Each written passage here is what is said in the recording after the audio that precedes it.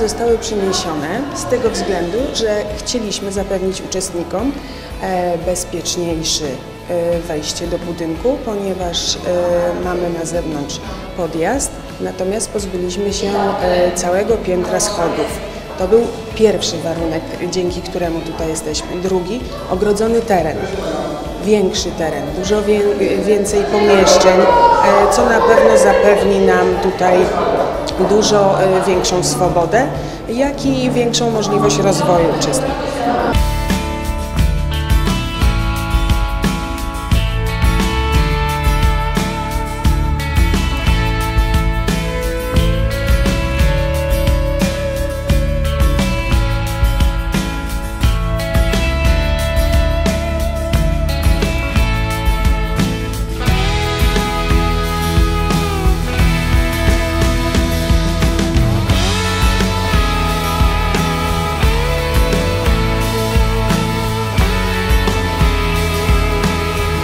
Ten budynek e, zaproponowało nam e, miasto z tego względu, że e, zespół szkół medycznych, który tutaj się mieścił, został przeniesiony na ulicę Kosynierów Gdyńskich i w związku z tym zaproponowano nam właśnie tą powierzchnię.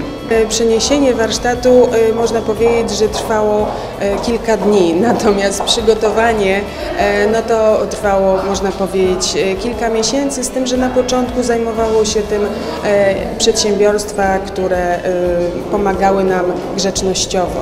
Cały czas rehabilitacja trwała bez zastrzeżeń.